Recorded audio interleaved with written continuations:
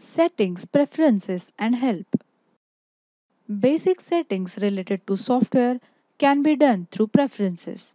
You can set the communication language of the software.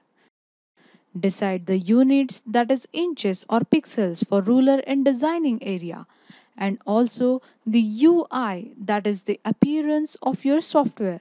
This classic UI option is given for existing Album Xpress users who are less flexible with this new UI and can keep working on their current UI. You can fix some design related settings under Actions. You can ignore photo orientation while auto designing with change layout. You have to check this checkbox on.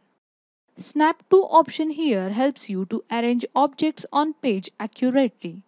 Keep this checkbox on to enjoy snap based designing. Always save photos with project. Here, check this checkbox on to save the project along with the photos like backup of photos. Here is Photoshop tab. You have to set Photoshop exe path installed in your computer.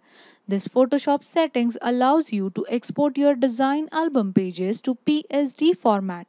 Save the changes and restart the software to implement them.